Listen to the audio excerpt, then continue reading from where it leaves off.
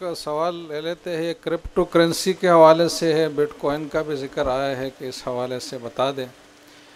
तो दो बातें हैं। एक तो ये है कि बिटकॉइन और इस तरह जितने भी करेंसीज़ है, उनमें शरी हवाले से करेंसी बनने की सलाहियत है।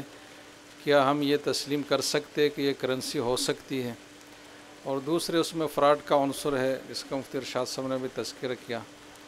जहाँ तक पहली बात है तो इस हवाले से एक राय तो ये पाई जाती है कि ये महज फ़र्ज़ी चीज़ है, ख्याली चीज़ है, इसका कोई भी वजूद नहीं है। तो एक फ़र्ज़ी ख्याली चीज़ को हम कैसे करेंसी मान सकते हैं? लेकिन बाज़ार ये बात कमज़ोर है, इस तरह फ़र्ज़ी ख्याली नहीं है, इसका एक वजूद है और बहुत सिस्टमेटिक वजूद है इसका। और जो ब्लॉक चेन का जो एक तरीक़ा है, साइंटिफिक मेथड, उससे बड़ा महफूज भी उसको बनाया गया है। और इसके बहुत सारे फ़वाद भी हो सकते हैं जिससे इनकार नहीं किया जा सकता। और ये जो बहुत ज़्यादा अफरात ज़र, तफरीती ज़र की चीज़ें होती है, ये भी इससे कंट्रोल हो सकती है।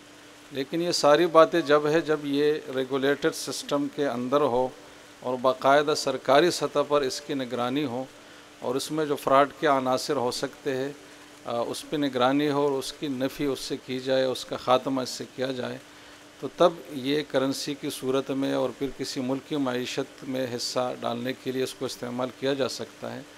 लेकिन जब तक ऐसा नहीं है तो महज ये है कि इसके इतने फ़वाद है, ये है, वो है तो आवाम के लिए ऐसी चीज़ों में हिस्सा डालना इन्वेस्टमेंट या उसकी ख़रीद फ़रोख्त या जो भी है तो उससे इज्तनाब करना चाहिए। इसलिए कि इसमें इश्तबा के पहलू भी बहुत ज़्यादा है और इसमें रिस्क के पहलू भी बहुत ज़्यादा है।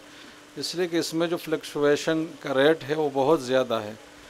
महीनों महीनों के हिसाब से, बल्कि दिनों के हिसाब से हज़ारों हज़ारों डॉलर इसका रेट कम ज़्यादा हुआ है। तो ये चीज़ें ऐसी है जो इसके इंतहाई रिस्की होने की तरफ़ इशारा करती हैं।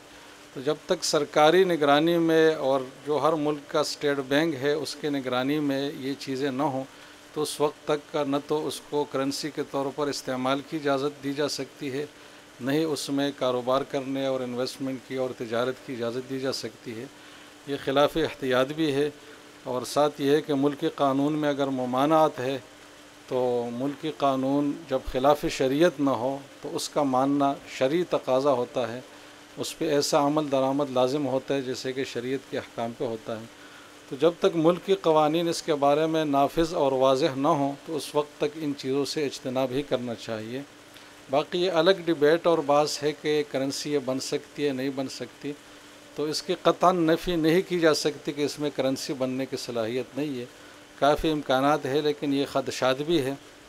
तो जब तक रेगुलेटर सिस्टम में ये चीज़ें नहीं आती, उस वक्त तक इनसे इजतनाब ही करना चाहिए।